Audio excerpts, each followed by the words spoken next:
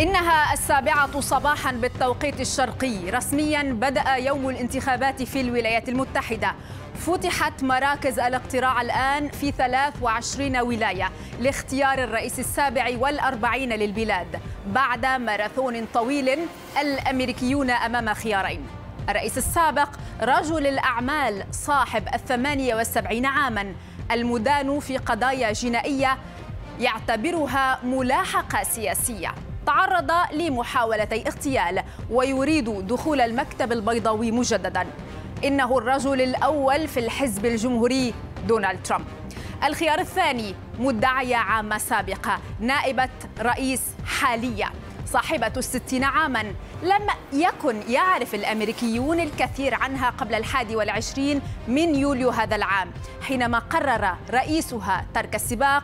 ولا يزال الكثيرون لا يعرفونها أيضا. اختيار الحزب الديمقراطي للرئاسة كاملا هاريس المرشحان ليسا غريبين عن البيت الأبيض.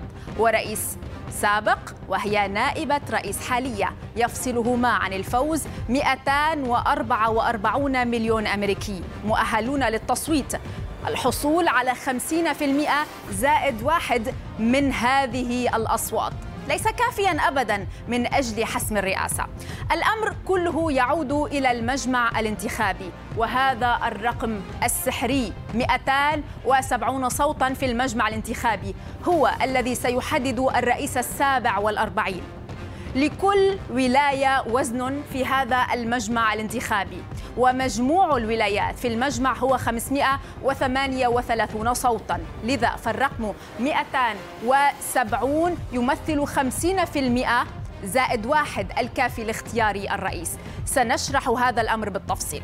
في الماضي كان من السهل معرفة الفائز في الساعات الأولى من صباح اليوم التالي. لكن انتخابات 2020 تغير وتغير فيها كل ذلك حيث احتجنا للانتظار أربعة أيام قبل إعلان فوز بايدن في بنسلفانيا التي مكنته من الفوز بالرئاسة. ومن حق بعض الولايات أن تصادق على نتائجها بعد 29 يوما من يوم الانتخابات. لذا فقد تكون هذه الليلة طويلة جدا وقد تنتهي دون معرفة الفائز خصوصا أننا نشهد سباقا متقاربا للغاية تابعونا وأهلا بكم